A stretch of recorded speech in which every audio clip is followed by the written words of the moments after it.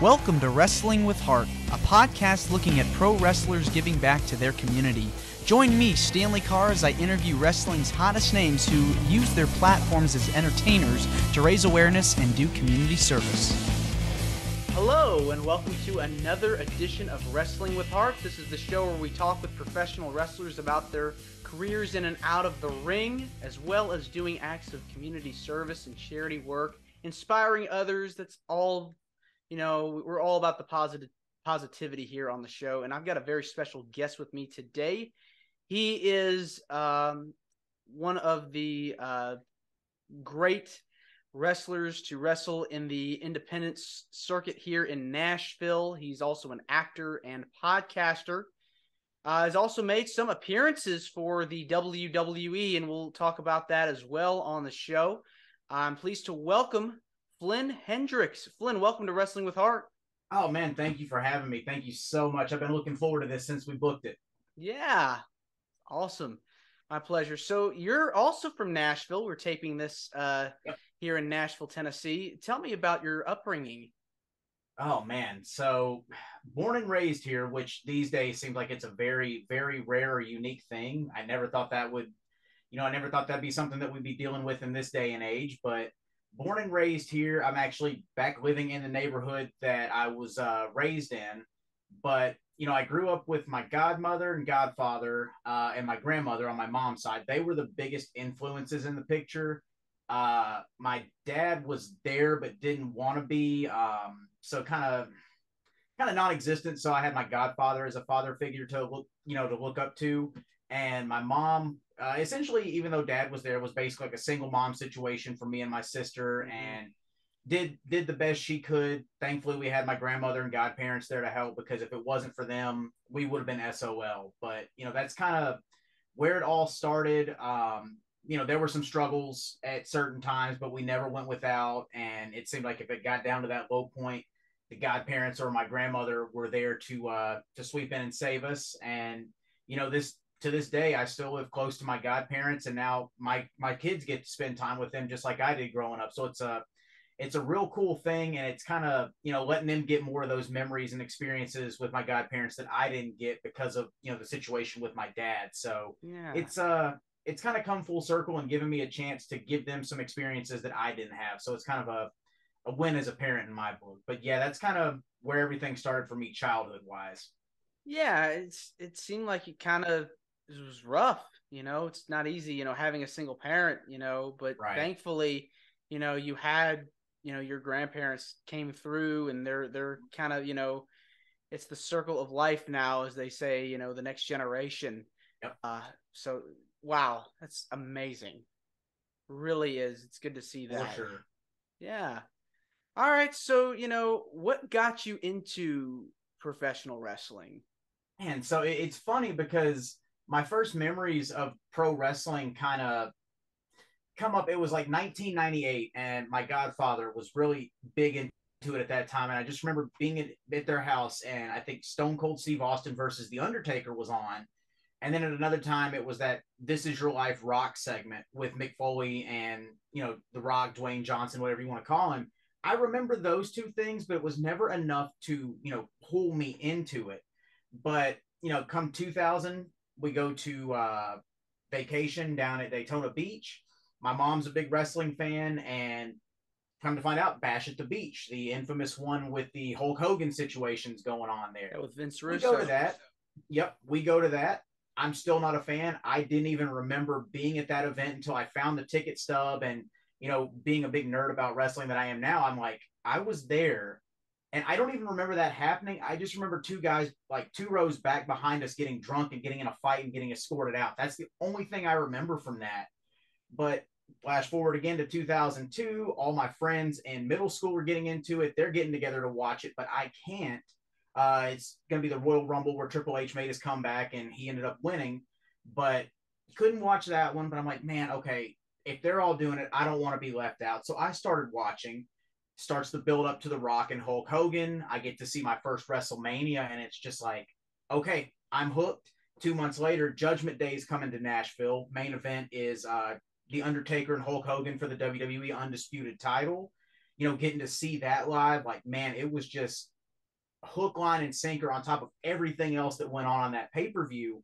And, you know, from there, come to find out, I've got a cousin down in Memphis who is close with Koko B. Ware. And I knew a little bit about Memphis wrestling at that time, a little bit about early WWF, but didn't know that much about Koko. But we were in Memphis and she offered to introduce us. So, you know, we, we met him and I was kind of shocked because he's at the time he was barely taller than me. I was maybe 15 and about five four at that point. I'm like, hang on.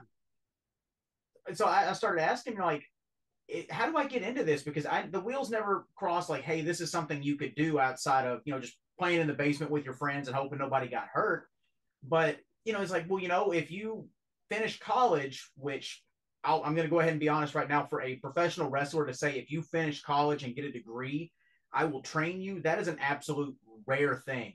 So we hmm. made that agreement. We kept in touch. Uh, we actually had me on the phone with Kevin Lawler, one of Jerry Lawler's sons, but uh, kept him up to date when I graduated high school. And then, you know, anyway, a couple weeks after that was WrestleMania 21. And I'm sitting there watching with my friends. Everything on the card looks awesome. But the one thing that jumped out that entire night was Shawn Michaels versus Kurt Angle which became like my number match. one. Absolutely, my number one match, match of all time.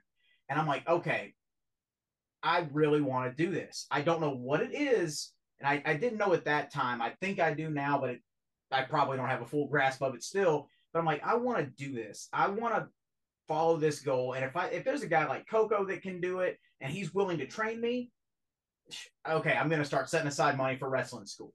So I started doing that. And then come to find out, there was a guy at my high school who was a year younger than me, uh, who knew a friend of a friend type of situation. He was actually wrestling at a local promotion that was going on at the time here in Nashville called USWO. And it was run by another Memphis wrestler named Tony Falk, who people may know if they watch Memphis wrestling as the guy that had, I think, The Rock's first match. He had one of Kurt Angle's first matches. He was the referee for Stone Cold Steve Austin's first match did all this stuff. So he was telling me about it. And at the time, he had a trainer named Chris Michaels who has been intertwined in my story for the entire almost 16 years now. But he was running Tony's training school at the time. So I reached out to Koko and said, Hey, this is 10 minutes from my house. Uh, would you mind if I started, you know, training here to get the basics and still go to college and everything? I was coming back from Chattanooga every weekend. He gave his blessing because it was Tony.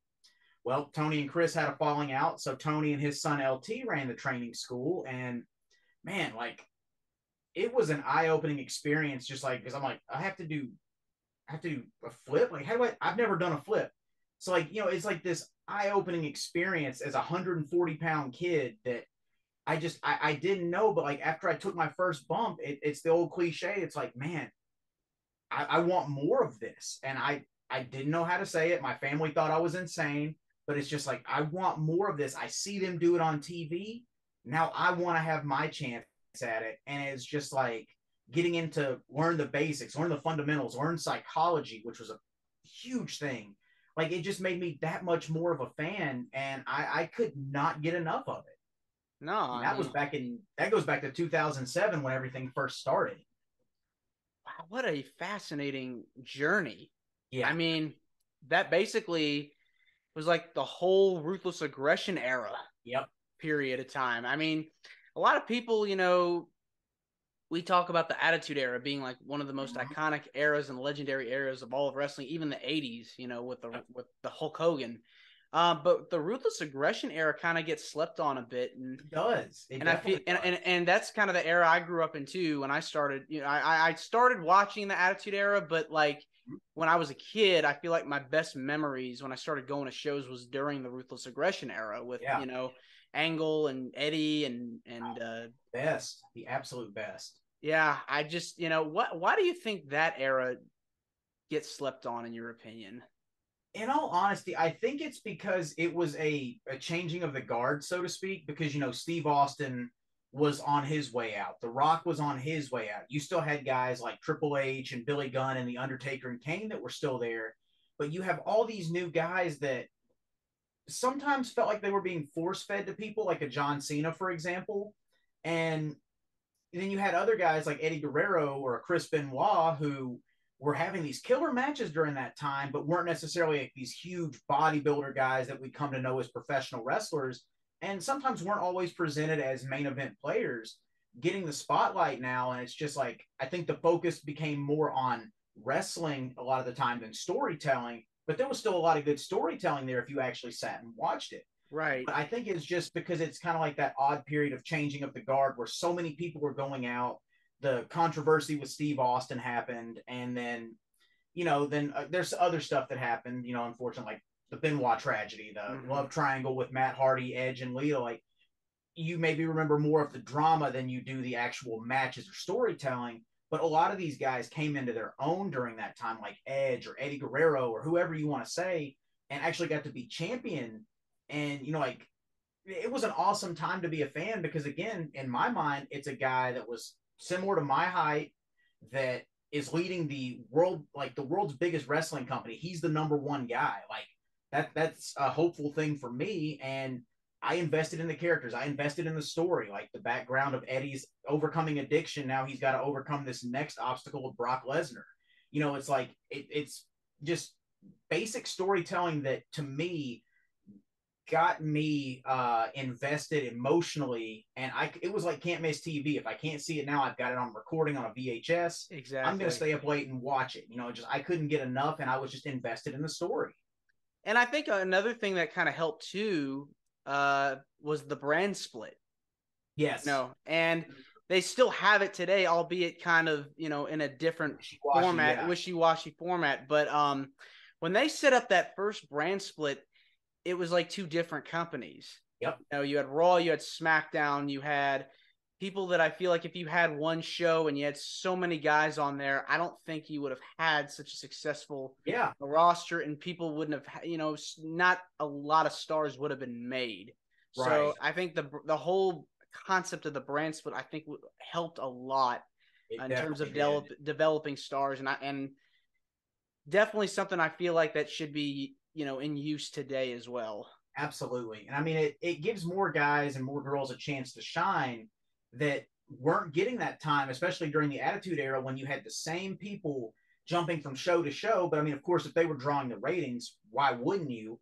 But at the same time, you've got to continue this storyline for your, you know, storyline A, storyline B, these things that are drawing money. But these people that are mid card or a little bit lower trying to get their get their chance in the spotlight are kind of just pushed to the side to further those stories. So this right. was that opportunity, like the SmackDown Six that we we hear so much about these days. You know, it's like here's your opportunity because of this brand split. Go out there and do what you do best. Right, right, and you know, like you said, you know, it gave those people a platform, and you know, you start watching it. Were who like were some of the guys like you were influenced by in your work? Oh man, okay. So number one uh, will always be Shawn Michaels. Like I remember the NWO comeback. I remember the SummerSlam match with Triple H and just like like you know learning later okay he was still messing around in the ring at his training school like oh my god like this guy is the ultimate showman. He's not the biggest guy but he can make it look believable when he's in there with a guy like an undertaker or triple h or whoever it may be or batista. Like no matter who it was he looked like he belonged there. He looked like if he punched him it made sense like it was real. But for me, he was he's always number one. Um, and I've actually got some gear being made now that's kind of taking my love of anime and then based off some of his gear as well. Ah. Uh, but it trunks. I'm not gonna wear the long tights again. I don't think I'm, I think I'm too short for that. But you know, it's just like the showmanship, the the personality in his promos, his talking, just his character, everything about that brought me in. But then you know, you also have a guy like Eddie Guerrero. Like, oh my God, this guy was the you might as well call him charisma unlimited. He had the it factor in spades, and you don't even know what the it factor is, but he could flip a switch from being this energetic, lovable babyface uh, good guy to like when he turned on Rey Mysterio, the ultimate villain that just made you like, man, I don't know what he's doing, but I it makes you uncomfortable because of some of the stuff he's saying, mm-hmm. and you can see that he believes in it, man. It's just like right those two are probably my two best um like character wise and then well rounded as a whole. But then I'm a big fan of guys like William Regal and Fit Finlay because they're more of that technical style, that brawling, yeah, yeah. Mm-hmm. And those are two guys still that I wish could have gotten that run as a as a world heavyweight champion. But you know, like Fit Finlay, for example, man, like everything he does looks believable. But then he can still go out there and have a you know um, a short person like Hornswoggle with him and give you a little bit of a comedy act but then flip the switch right again and go right back to having a match with the Undertaker. Like, yeah, those those four guys during that time were probably my biggest uh my biggest ones that like ended up being influences on my career before I got back into like the old school 80s and AWA stuff. Mm-hmm. But then just as a fan, man, I was always like big on Kane, big on the Undertaker, big on Batista, these big guys that just like you know they pass the the airport test. You see them you're going to stop and look. And yeah. like it was just it was just incredible stuff. And then of course brock lesnar seeing him manhandle the big show that was just like oh my god what can't this guy do? He's a freak of nature. But you know it's like guys like that that just made me want to watch and then see what they're going to do next. Like i just i yeah. loved all that. It was must see tv i mean yeah. Where where else can you find a 295 pound guy uh, suplex a 500 pound giant off the top rope and the ring implodes? Exactly. It explodes thing, out of nowhere. The thing that's that's uh, insane about it too is even if that 500 pound guy didn't want to do it, the 295 pound guy could legitimately throw him whether he wanted to go or not. Right. So I mean, it's exactly stuff like that. Like, how does this guy not kill somebody when he's in there? Like, that's insane. It's magic. It is. It it's really magic. Is. You kind of alluded to earlier, you know, you getting started in the wrestling business. Um, tell me about like the training process. How rigorous was it for you? So it was uh I'm trying to think. I was a bit of a slow learner at the beginning because you know it's a lot of like getting the footwork down and you know at the time I'd had marching band experience so there was footwork involved there coordination but it's a completely different story and then you know like getting used to these different types of rolls or taking flip bumps back bumps whatever it may be um, learning drills to you know like hip toss arm drag body slam go to the corner you know like just taking these different things. It ended up being sometimes twice a week sometimes weekly on the weekends. I would be coming back on the weekends during my first semester at college.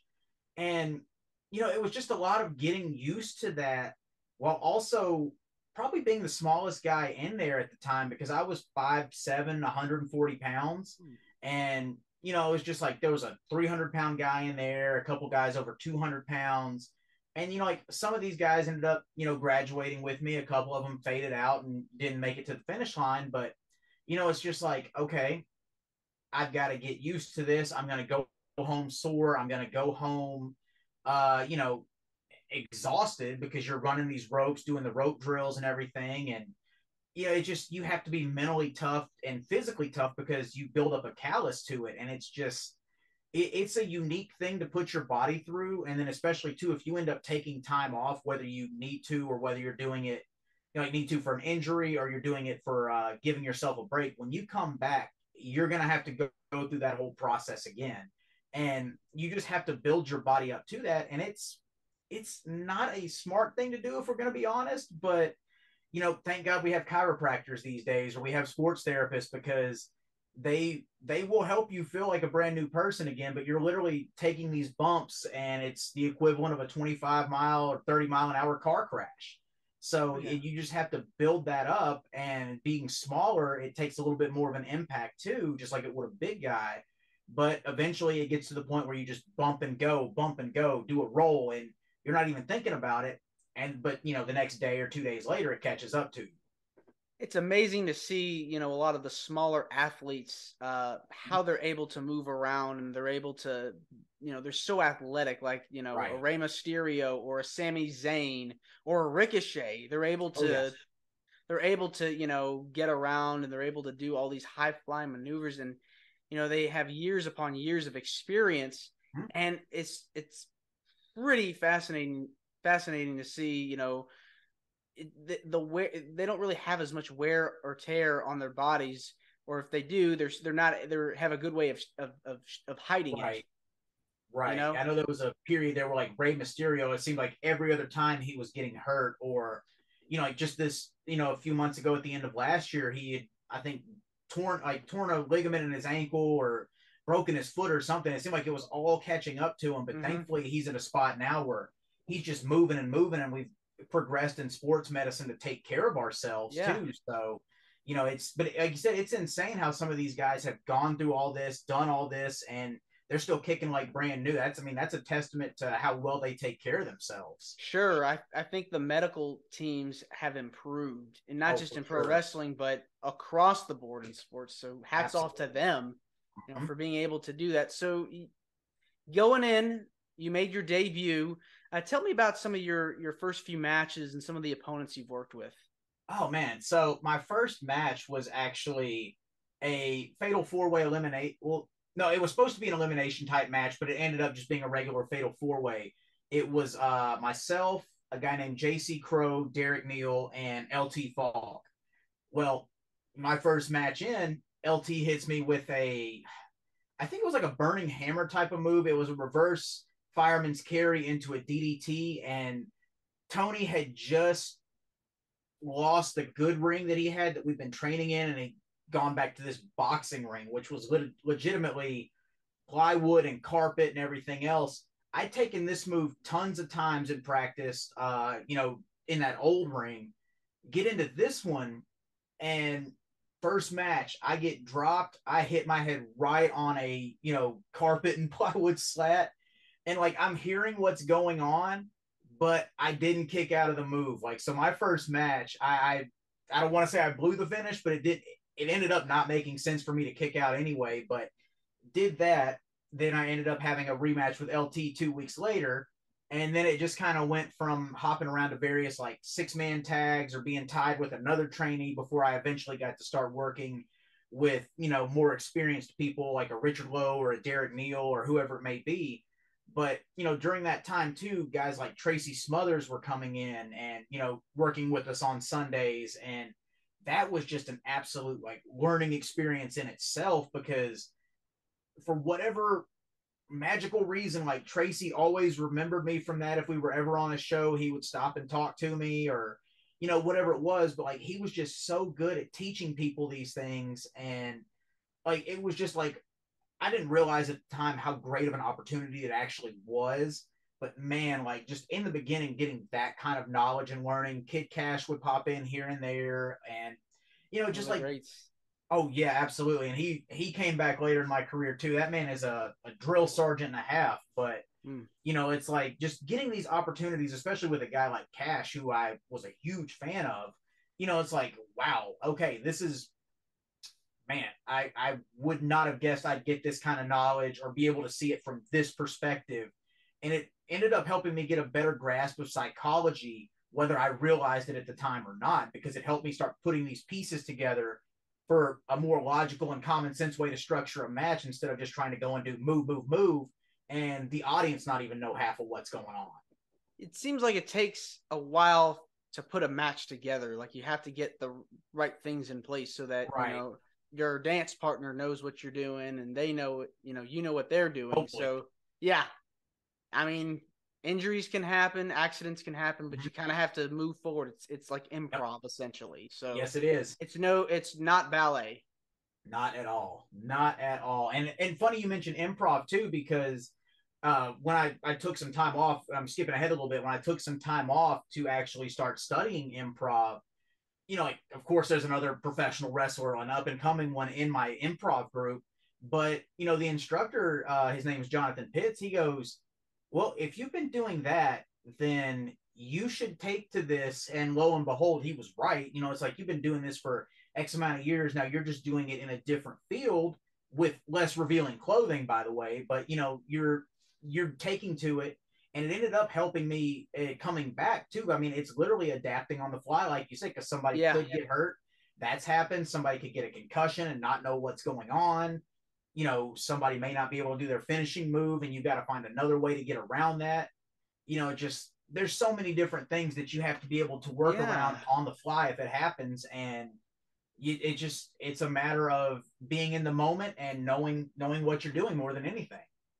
There's a story I remember uh, reading an interview with Chris Jericho talking about, you know, when he left WWE the first time. Uh, mm-hmm. I believe it was in 05 after his feud with Cena. Yeah. Um, he took some time off, and I think during his break, he did some acting yep. and some improv with the Groundlings, the comedy troupe. So I think one thing that he had, you know, when he came back was, you know, he had that experience of being able to adapt on the fly in case you know something was Absolutely. wrong, or just like in a or, or just like in a in a skit, you know, backstage. You know, oh, yeah. those little things they help you get better. So it's it's it's important. Like when you take those breaks, when you go do something else and then come back, you you come back with perspective, a new perspective. Absolutely. And that's that's another thing too that it, it ended up teaching me how to take it to the next level on. But when you're performing, um, I always heard that if you don't believe in what you're doing, the crowd is not going to believe in what you're doing. And that's 100% true. They can pick up on it through body language, facials, whatever it may be. And acting helped me take it to a completely different level because, you know, you may be handed a script or you may be given a promo with some bullet points that are written in a way that's not how I would say it or how you would say it. But if you know how to improv that to get the same point across to where you believe in it, it makes a world of difference and they're going to believe in everything that you're saying at that point. So, I mean, it's just, it helps you take it to that next level because, in a sense, this is an act because it's like theater, but with physicality and, you know, a lot more drama. But you still have to be able to commit and believe to it because you are playing a character, even if it's an extension of yourself. Were you before you got into wrestling, did you do theater in school? Were you I, acting?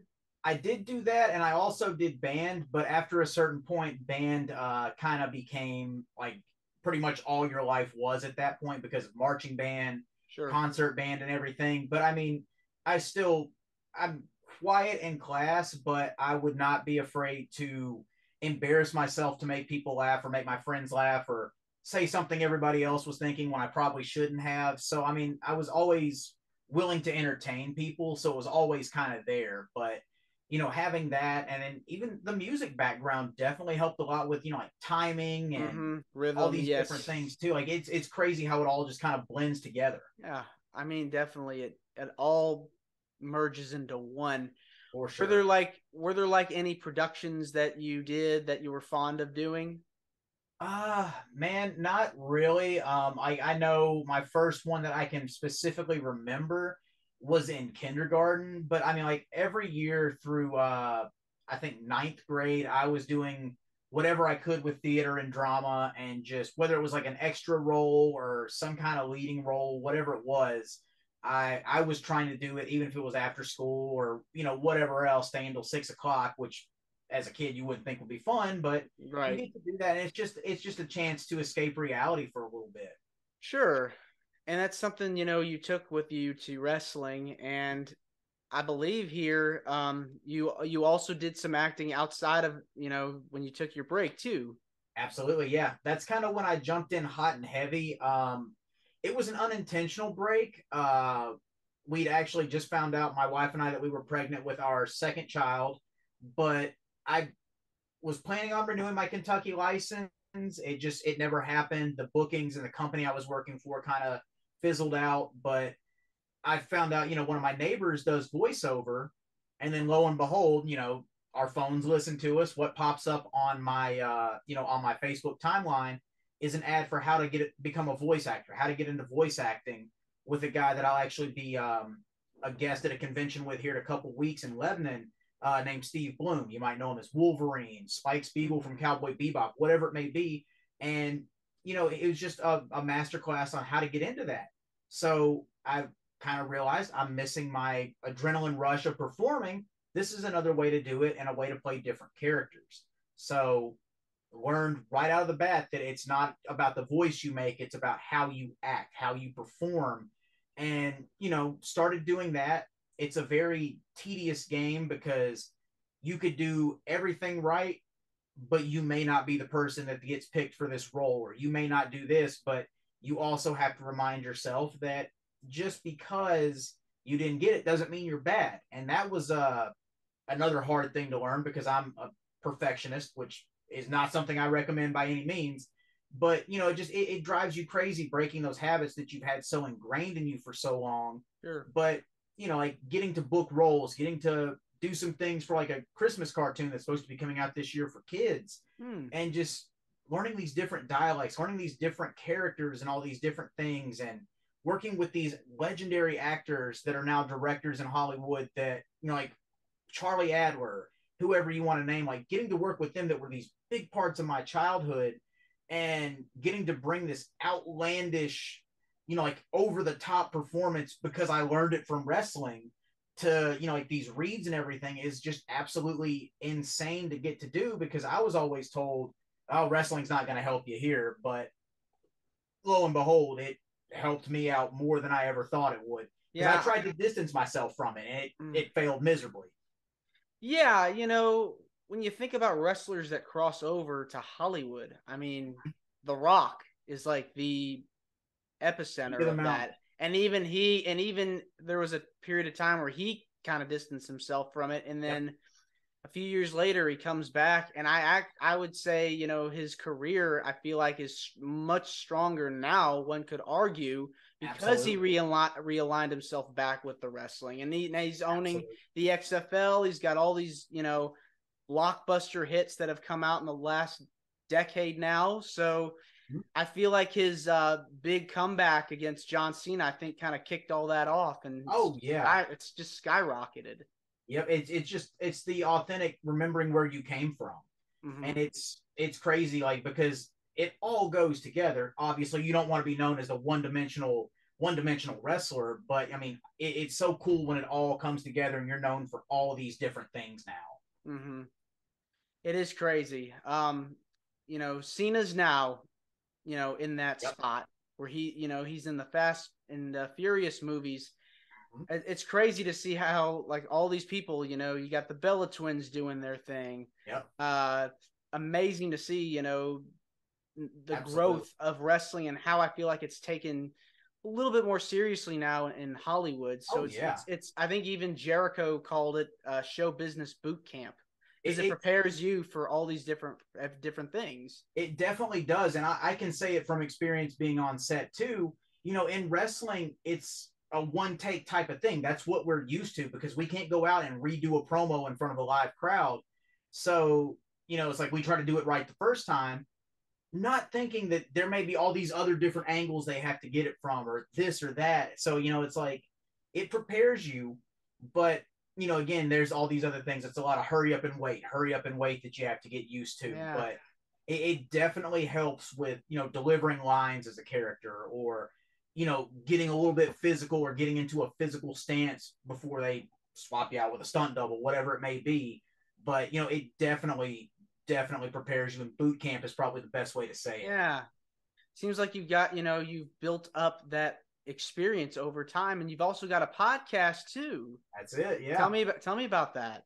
Man, so again, it all kind of started during during the pandemic when I was still you know like breaking my way into acting, which man, it's barely been three years since all this kind of started, so it's still.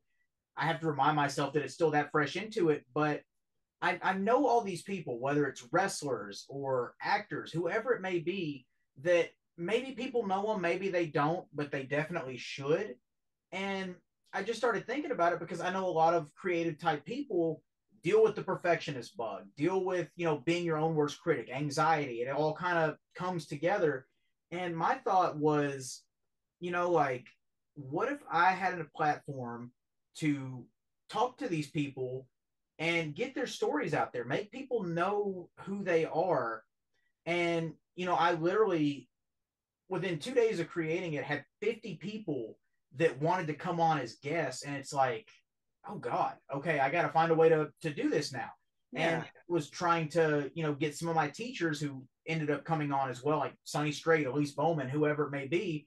And, you know, just booking these interviews and talking to them about how they got started uh, you know, their mental health, or some of my friends like that started her own tattoo shop, or being a teacher during the pandemic. I've had one of my friends on talking about that. Like, there's all these different people that I got to talk to, and like Chris Michaels that I mentioned earlier, like always been on the cusp of working for one of the major companies, but never got that contract? How do you want to keep going when that happens? How do you not let that defeat you? How do you come back from all these injuries that you've had and not, you know, like how do you not get in your own head about that?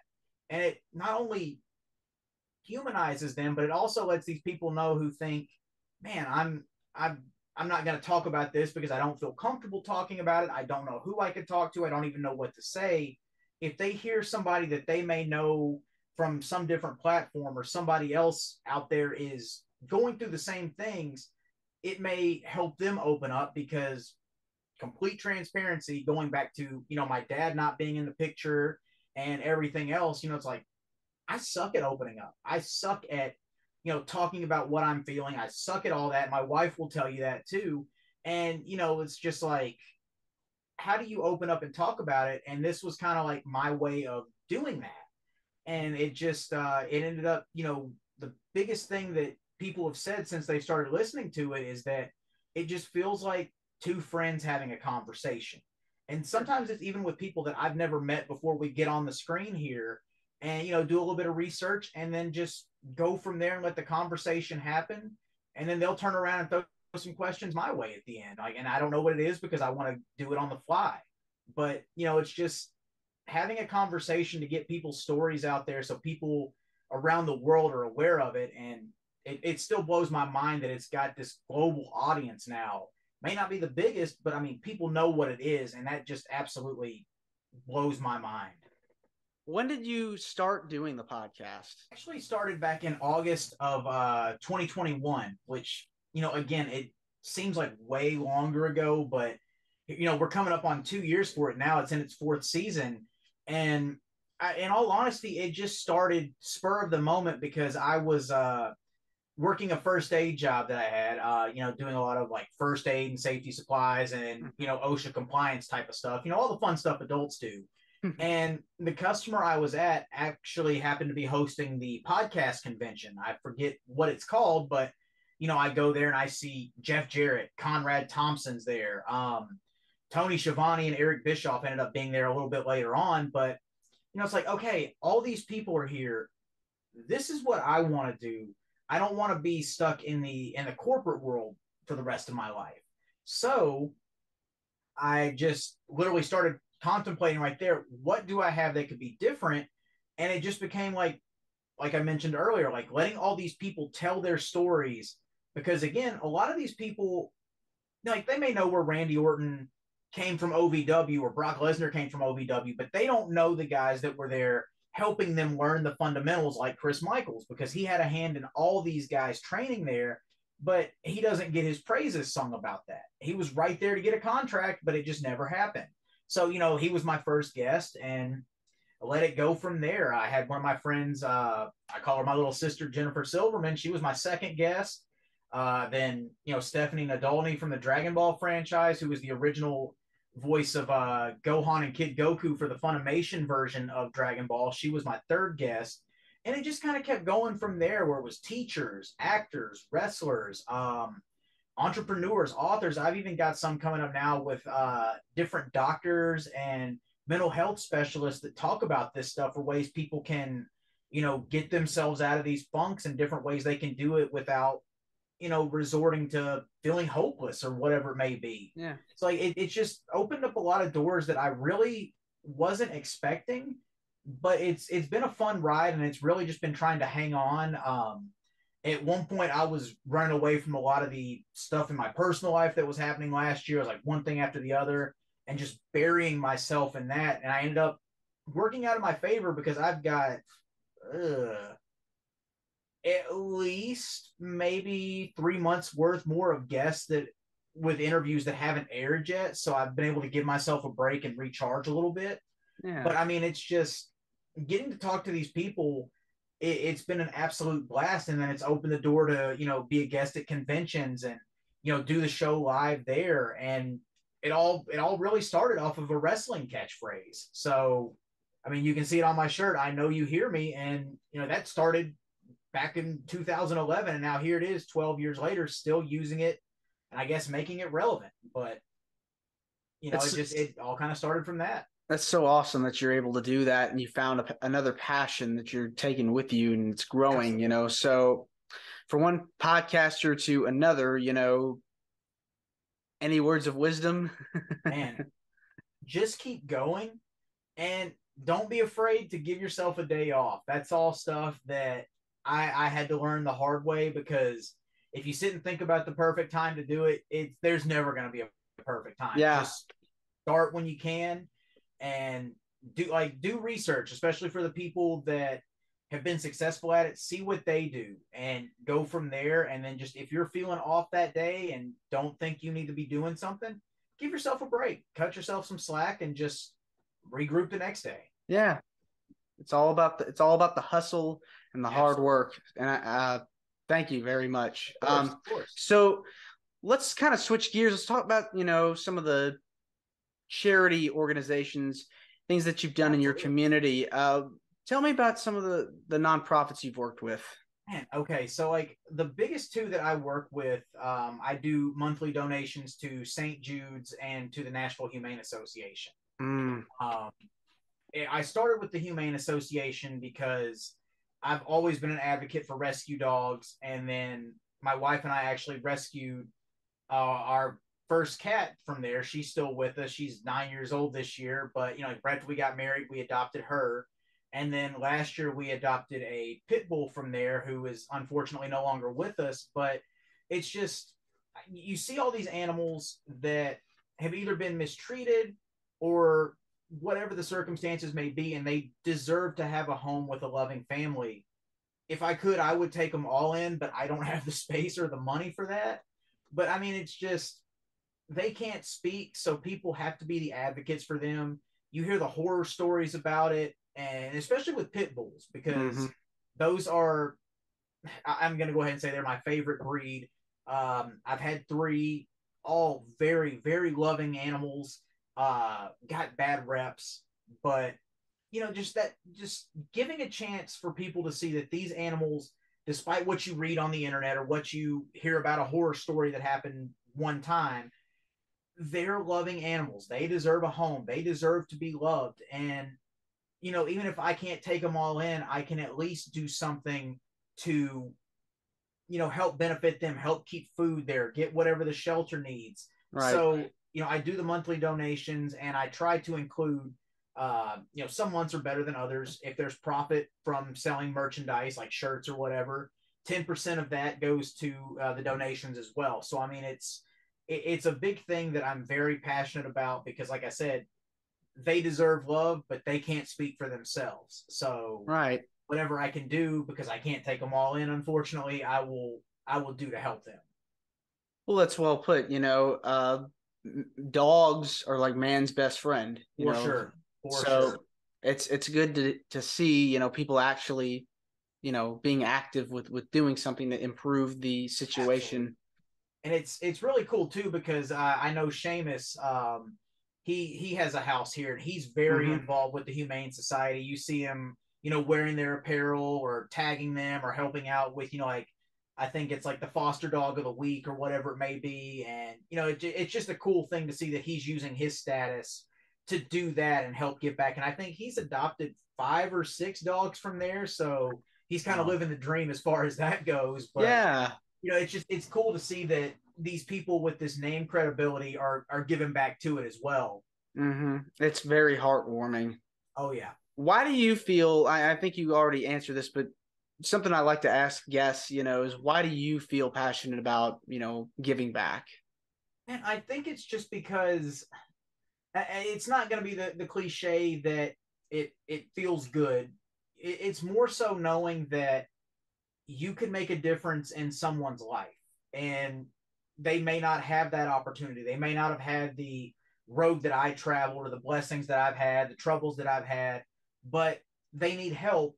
And you know, I'm I'm a Christian. I believe that if somebody needs help, you help your fellow man, and if you have the means to do it, whether it's just donating money or you know buying food, whatever it may be, just doing something because ultimately they could pass it on to the next person and make someone else's life better, or you could be the person that changed their life. It's it, it's as simple as that because you never know what somebody's going through or what they've been through, but you do know that you have the, the opportunity to help them. Yeah, I mean it's all about making that difference and being Absolutely. a difference maker. Um, was there like a particular fundraiser that you enjoyed oh, helping man. out so, with? So this is one uh, I actually did back in November, and they're trying to get me to do it again. But with the workout routine that I'm on, I'm not going to be able to do it this month because uh, my my my trainer is pretty strict on that. But sure. I did the uh, 3,000 push up challenge for uh, St. Jude back in November. Mm. So hmm. that was anywhere from like 100 to 125 push ups a day, uh, nonstop. So, I mean, it's like my chest needs a break. I definitely saw some results from it, but, oh, wow. you know, it, it, went to a good cause. Uh, people donated to it, which was awesome. And, you know, it's just, it, it gave me a chance to do something that I enjoy doing anyway with exercising and using it as a way to help these kids and help these families that are going through things that no kids or families should really ever have to go through. I mean, yeah. it's just it's just a way to give back, but have fun doing it and keep myself healthy at the same time. Right, combining those two interests. Absolutely. Yeah. I love that. Before we go wrap things up, let's talk about um some of your cameos in WWE oh, um, last right. couple of years. So, how'd you get the call? Because I know uh, you were at SummerSlam last yep. year, and I was I was there too. I was in attendance. Uh, oh, tell nice. me about yeah yeah great show great card. Tell me about that experience. So, man, uh, it's so rare. It's so random actually because that was the first time that I'd been back since 2014. Um, Hmm. Did a SmackDown appearance right after WrestleMania 30, uh, along with a Raw appearance uh, when they did the Ultimate Warrior tribute. But um, man, this one actually came out of nowhere because it was right after uh, Pat Buck had left WWE and ended up going to AEW, and he was the guy that would book the the local talents at that time. Well, I it was kind of like hit or miss getting a response from him. But uh, I found out who the new guy was and just randomly shot off an email because I found out, you know, SummerSlam's coming. And this was three or four months in advance. Did not expect it. And I'm like, okay, you know, maybe he'll remember me from working some shows around this area a decade ago. We ended up, we got to talk about that later on, but he booked me. And I'm like, oh, okay. Pessimist me is thinking maybe this will, uh, this will get pulled out from under me before I actually get there or whatever. And you know, thankfully it didn't. And you know, I had no idea. I thought I was just going to be be there eating catering all day or whatever it may be. But no, you know, you got to go out around the ringside, see them setting up stuff, see them going over stuff, hang out with Charles Robinson, just uh, you know, talk to these different guys, see some guys and girls from the uh, the Nightmare Factory that were up there as extras as well and then they're like, okay, we need you three to do security for a segment, and it's like, okay. So like that's all they said. They said it's gonna be uh, after the tag team match, and that's it. So we're left alone. They give us the shirts and everything. Uh, don't really know what's going on. We go over to the gorilla position right outside of it. They say, okay, you're going to go over here and meet this guy. He's going to drive you out. So they took us out on a golf cart through the crowd. And it's just like, okay, this is uh this is actually happening, but the nerves weren't there. It was like just I was in the moment. I was seeing it from like a thirty thousand foot view because I could see everything in the stadium as it was happening, and it's just it's just like going because I do I've done security work on on the side as well, so I kind of know what to do in a legitimate situation like that but I'm also trying to worry, make sure I don't block the shot and you know get in the, get in the way of the superstar. Mm-hmm. And thankfully, I didn't. I ended up front you know front row next to Seth Rollins, which was awesome. But you know, it's just you know doing that. Producers were happy with it. Everybody involved was happy with it, and you know, I I shot a message off to that guy uh, that booked me the night after and thanked him for it. Said, hey, uh, I've still got my physical, my blood work's in check. Um, I'm licensed in this state. Is there any chance I could be used on any of these? And that was the Indianapolis uh, SmackDown and the Louisville Raw, and then what was supposed to be the day one pay per view. But um, before I jump to that, though, I just thought of something that I forgot to mention from that SummerSlam day. Um, you know, I show up, I park, and there's guys like Byron Saxton, Corey Graves, uh, Chris Park, who used to be Abyss. They're all getting out of their cars. We're all walking in, going through the metal detectors, they're checking our bags and everything. I didn't know it, but across, uh, you know, across the way, seeing us go in, were fans that usually boo me uh, for a promotion up in Kentucky that I work for called UCW, and they're sitting there chanting my name like in front of all these WWE people, and I'm just like, I don't think this is supposed to happen to me, but you know, here we are. It, it was a really cool experience, but you know, then flash forward, uh, I'm sure we'll talk about you know SmackDown and Raw next because that was the uh, the next appearance there. Yeah. Okay. Yeah, I mean, sounds like you had fun. I mean, doing oh, it. For sure, for sure. I mean, the biggest thing too that I noticed was that nobody was walking on eggshells this time. Uh, because when I went in 2014, it was almost like everybody was on eggshells. Everybody was nervous. Uh, you know, so it's just trying to stay out of the way, trying to not ruffle any feathers. And this time, man, it was just laid back as can be. Billy Kidman's, you know, hanging out in the room where the extras are because it was the producer's room as well. Michael Cole's in there. You know, like it's just all this different stuff. You eating lunch with Byron Saxton and Bobby Lashley. Like it's way be, more laid back this go round. What couldn't be better than that? I mean, exactly, exactly. Have you thought about, you know, working for one of the big companies? Was that and something? I've I always that's that's the dream, and I've, I've let it be known because I've I've submitted. I even gave Byron Saxton my resume and you know information like with my commercial and character demo reels uh, links to the podcast and everything, different broadcasting and acting things I've done. I would love to go and be a manager, be a broadcaster, be something because I know at some point, you know, I'm gonna have to slow down on the physicality, but I know that I can talk better than anything else. So put me with somebody that can't talk. That's my goal. But um, it seems like that position was a revolving door, and the person that booked me for those had uh, had been moved to a different position. He's a producer now. And lo and behold, what was supposed to be day one in Atlanta got moved because the show got canceled. Raw was in Nashville the next day. So I asked him, Hey, is there any chance that I can just get moved from that to this because it's in my backyard? It's like, well, I would say yes, but it's this new guy's decision. This new guy had been there before. And I kind of got blown off by it you know, they brought in guys from different states, uh, a lot of the same people you've seen on TV now. So I'm trying to find a way to navigate it because it's kind of like the same response every time. even done a tryout and a seminar and all this, and it's just it, it's frustrating because you, you're seeing the same people, some of which are my friends, and it's cool, but you know, it's like I, I sent you ten different dates that I could do, but you're bringing the same people from here and here and here, and I, I just give me another opportunity because I got fantastic reviews from everybody that I worked with the last time. But it's just kind of like that momentum was pulled out from under me because people change positions and I had no control over it. So it's it's a frustrating thing, but I would love to be in any one of these big three companies as a manager, as a mouthpiece. And if they needed somebody to be in the ring, I would love to do that too. But yeah, I just I want a job, I want the jersey, and I want to be on the team. That's that's the main thing. You'll get there. I promise you. You will Thank get there. Just it's like that songwriter trying to get his big break. You yep. will get you will get there. Just keep keep going for it and, and you'll Absolutely. make it. Thank you. You'll I appreciate it. that. Yeah.